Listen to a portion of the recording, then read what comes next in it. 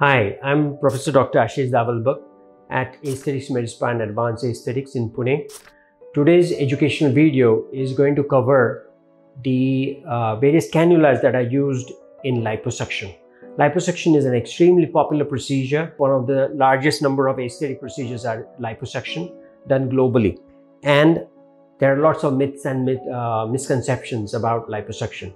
But first, it's important to understand what are the technologies that are used and what are the tools uh, that are used during liposuction.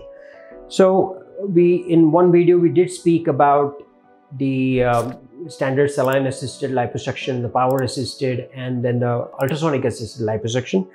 But in most of them, basically what you need to understand is first is that you need to put in a fluid which is a Ringer lactate or saline based fluid with a little bit of adrenaline to help in reducing the blood flow in the fat that you want to suck out and you want to make the fat liquid or at least filled with liquid all around it. A dry aspirate or removing fat without any liquid can harm the tissues more. So these are, this is an infiltration cannula and if you see that it has very tiny holes all around it and you connect it to an infiltrating uh, tube and you force this saline in through that you make stab incisions you know one or two. These are the usual areas where you make those stab incisions which are hardly two to five millimeters. And you put this in the fat underneath and uh, in in this fashion.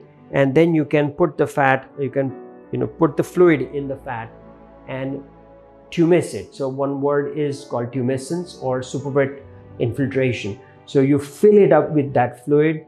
It reduces the blood flow. And then uh, either with just power assisted. If it's power assisted, then you would use a, a device like this which oscillates back and forth.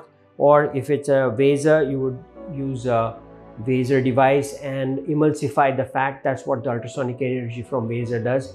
It emulsifies the fat. You do it evenly all over, superficial and deep. And then you use uh, cannulas depending upon the amount of fat and the layer that you are going to suck it out from. So this is a 4.6 millimeter cannula and it's from the Vaser device and it is one of the largest cannulas that they have here. And you can see the arrangement of the uh, openings. So um, they help in fairly aggressively sucking the fat out.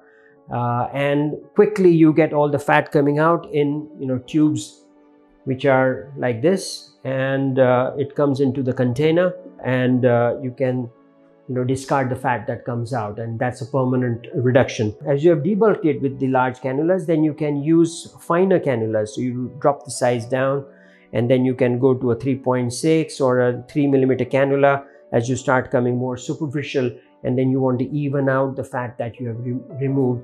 It also helps the skin to contract fairly well.